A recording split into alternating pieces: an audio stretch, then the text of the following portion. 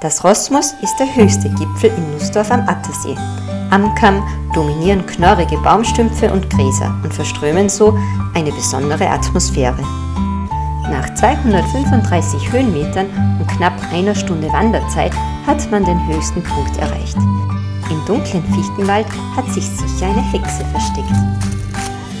Genau richtig, um fit für eine längere Tour zu werden oder dass man einfach einmal wieder auf- und ausziehen Bevor man wieder zum Ziel und Ausgangspunkt, den Gasthof Dachsteinblick, kommt, geht es über herrliche Wiesenhänge. Von hier bieten sich echt schöne Ausblicke auf das Höllengebirge und den Attersee. Im Buch findet ihr dazu weitere hilfreiche Details.